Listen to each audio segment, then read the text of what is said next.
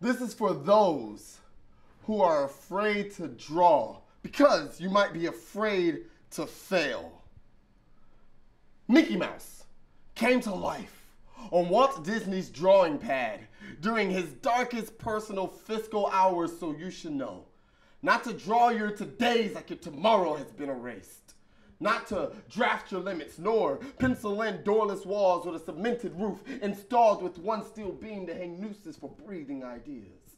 We conveniently remember that excuses can be drawn from thin air, and the verbal shading is so detailed that they become reasons. If you happen to notice your drawbridge not being let down for you, well then, princess, design your own. You blueprint of a human. Draw something before straight graph jackets begin to confine your scribble in an attempt to withdraw the dance in your doodle. But there are times when a good shake is in order when confronted with what's been etched on you is the best time for you to start from sketch. There is a world of blank pads and disappointments waiting on you to make your first mark.